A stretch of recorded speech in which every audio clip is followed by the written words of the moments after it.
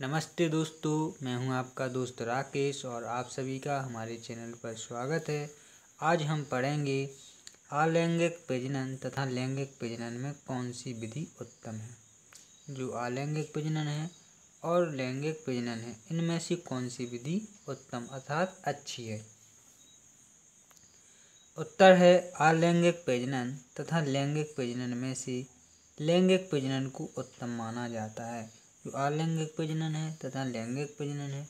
इनमें से लैंगिक प्रजनन को उत्तम माना जाता है, क्योंकि इस विधि से उत्पन्न संतानें अपने जनकों से भिन्न होती हैं, क्योंकि जो लैंगिक प्रजनन से उत्पन्न संतानें होती हैं, वो अपने जनकों से कैसी होती हैं?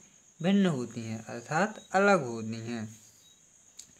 ऐसे जीवों को माता एवं पिता दोनों का जन्म दिव्य प्राप्त होता है।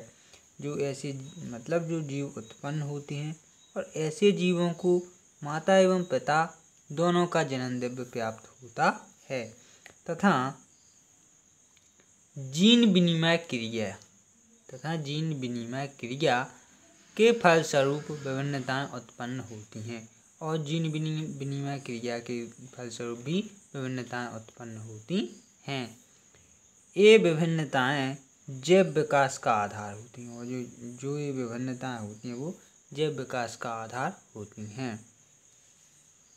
तो ये गाइज़ यदि आप लोगों को हमारा वीडियो पसंद आया हो तो हमारे चैनल को सब्सक्राइब करें, लाइक करें, कमेंट करें और शेयर करें।